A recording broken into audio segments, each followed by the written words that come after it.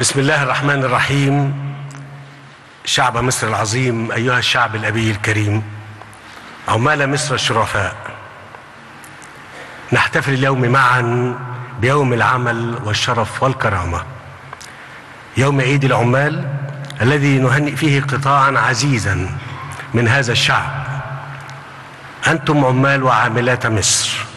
كنتم دائما في طليعة الحركة الوطنية. نوجه لكم التحية والشكر في يوم عيدكم. نشد على أيديكم ونقول لكم مصر في انتظار المزيد من العمل والإنتاج.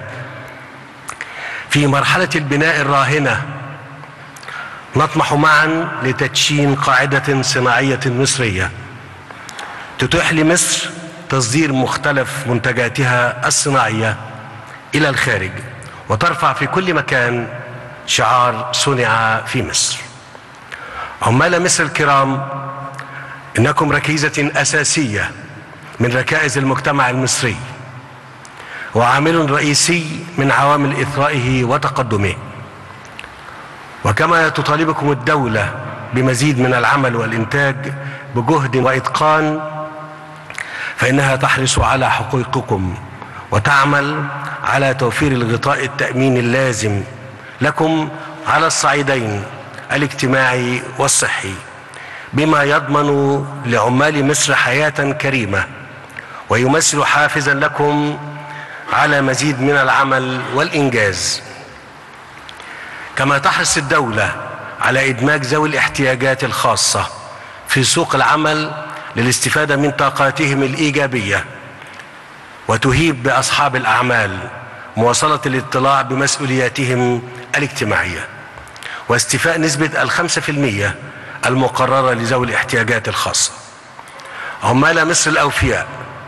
إن الدولة تعمل على توفير بيئة العمل المناسبة لكم تشجيعا على مزيد من الإتقان والإنتاج.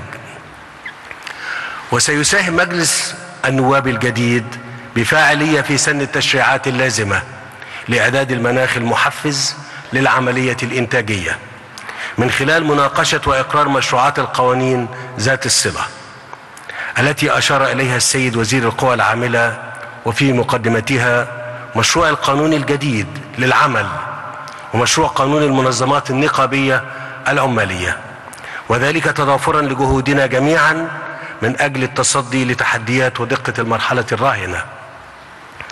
حتى نجتاز تلك المرحلة بنجاح. ونتمكن من إساء دعائم النمو والتقدم والتنمية الشاملة.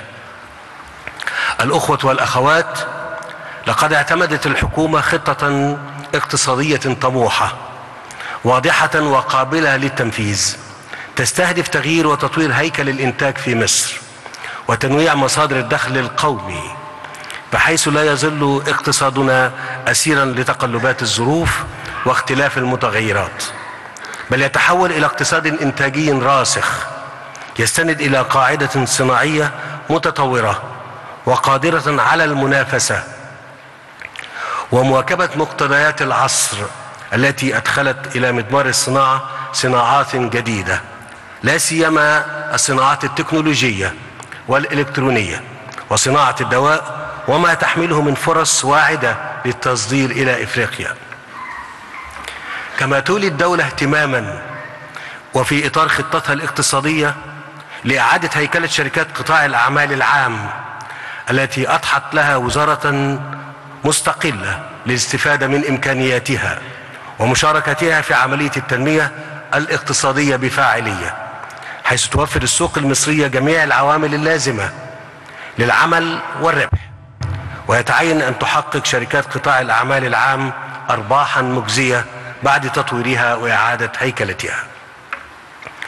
وأؤكد لمجتمع الأعمال والمستثمرين أن عملية التنمية الصناعية المنشودة لا يمكن أن تؤتي ثمارها المرجوة إلا إذا تكملت جهود الحكومة مع القطاع الخاص.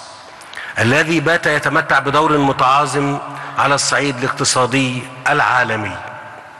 ومن ثم فإن الدولة ترحب بجهود القطاع الخاص في هذا المجال. وتتخذ من الإجراءات والتشريعات ما من شأنه تيسير عمل القطاع الخاص وفي مقدمتها قانون الاستثمار الموحد فضلا عما يتصل به من منظومة القوانين. بالإضافة إلى إنشاء المناطق الاقتصادية الخاصة بمشروع التنمية في منطقة قناة السويس وتدشين وتنفيذ العديد من المشروعات مثل مشروع استصلاح وتنمية المليون ونصف المليون فدان وإدراكا من الدولة للأهمية الحيوية لقطاع الصناعة. فإنها تتخذ خطوات جادة من أجل تنمية وتطوير المراكز الصناعية القائمة لتعظيم الاستفادة منها واستثمار ما تزخر به من بنية تحتية تتيح بدء العمل في تطويرها مباشرة. وذلك بالتوازي مع مبادرات جديدة لإنشاء المدن الصناعية. وتتواكب مع ذلك جهود دؤوبة للنهوض بقطاع المشروعات الصغيرة والمتوسطة التي تساهم بفاعلية في توفير فرص العمل وإتاحة المواد الأولية والوسيطة للصناعات الكبرى. فتساهم في زيادة الصادرات وتعمل على ضبط سعر صرف العملة الوطنية في مواجهة العملات الحرة.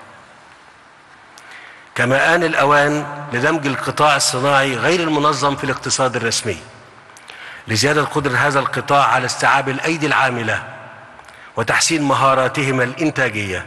من خلال البرامج التدريبية المناسبة لهم وليسهم هذا القطاع إسهاما حقيقيا في الناتج المحلي الإجمالي ويعمل في الإطار الضريبي والتأميني للدولة. السيدات والسادة إنني أجد الفرصة سانحة للتأكيد على أن الدولة المصرية لا تدخل جهدا لتعزيز قطاع الطاقة إدراكا لارتباطه الحيوي بقطاع الصناعة. وقد قامت الدولة بوضع خطة شاملة لتوفير احتياجاتها من الطاقة. ليس فقط على صعيد متطلبات المواطنين خلال المرحلة الحالية وإنما أيضا لتوفير احتياجات الصناعة والاستثمارات في المستقبل. ويلقي ذلك الضوء على أهمية تطوير اعتمادنا على مصادر الطاقة الجديدة والمتجددة. جنبا إلى جنب مع الجهود المبذولة لزيادة مواردنا من الطاقة التقليدية المتمثلة في النفط والغاز. عمال مصر الشرفاء أود أن أؤكد على أهمية التنمية البشرية التي تستهدف الارتقاء بمستوى تعليم وتدريب العمالة الحالية. وتلك الملتحقة حديثا بالقطاع الصناعي. كما أنوه إلى الاهتمام الذي توليه الدولة للتعليم الفني.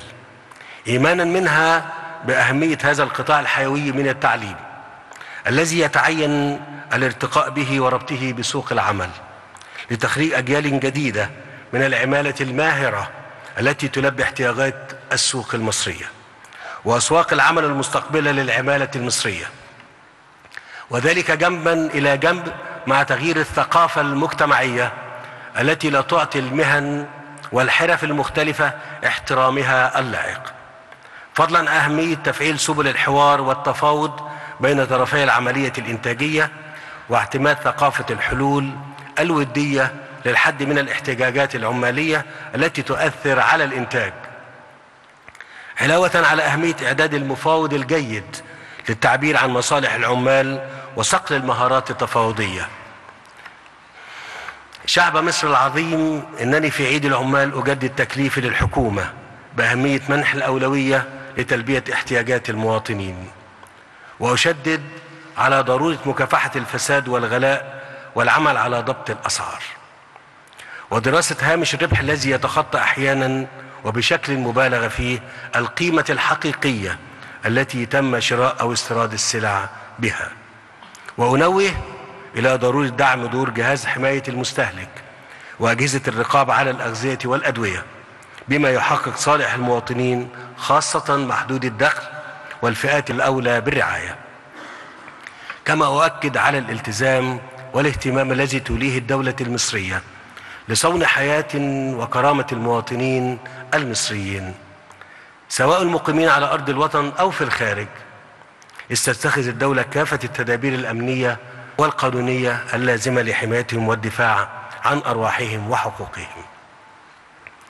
تحية أوجهها لكم عمال مصر الشرفاء في يوم عيدكم وفاء لكم ولجهودكم الصادقة التي بذلتموها من أجل الوطن.